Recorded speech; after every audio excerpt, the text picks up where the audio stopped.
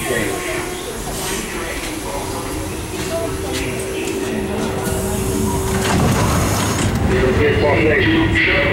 Brooklyn bound number three train. The next stop is Fulton Street. Step in, stay in train, close the door. Transport at East 180th Street for continuing service.